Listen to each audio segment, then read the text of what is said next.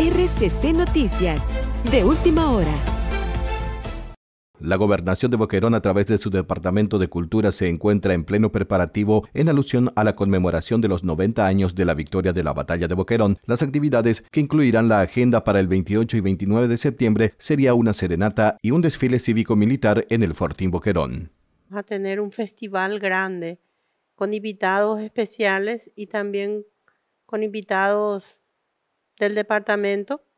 Los músicos son la mayor parte del departamento de Boquerón, artistas exclusivos de nuestro entorno. Va, a ser un espectáculo demasiado bueno.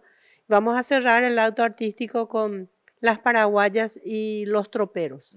Entonces le invitamos a toda la población ese 28 de noche para estar en Boquerón, hacerle la serenata que se merecen nuestros héroes.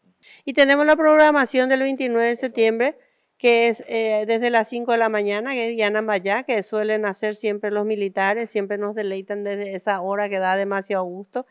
Y después a las 8 de la mañana el recibimiento a las autoridades y arrancamos eh, 8.30 con todos los discursos que se suele hacer, la ofrenda floral, el, el, el silencio del clarín, que es un minuto de silencio para todos los que fallecieron en Boquerón.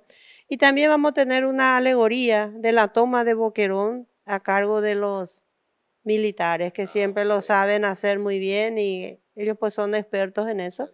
Y después tenemos el desfile cívico-militar que más o menos tenemos 22 colegios. Ellos pues son los que te animan y te hacen, parece, revivir eso que se ha pasado en ese lugar. Por supuesto que estamos en otros tiempos, ¿verdad? Nosotros no podemos sentir lo que esos paraguayos sintieron en ese lugar, pero eh, te da piel de gallina y a veces te emociona al escuchar lo que es eh, todo lo que hace el ejército.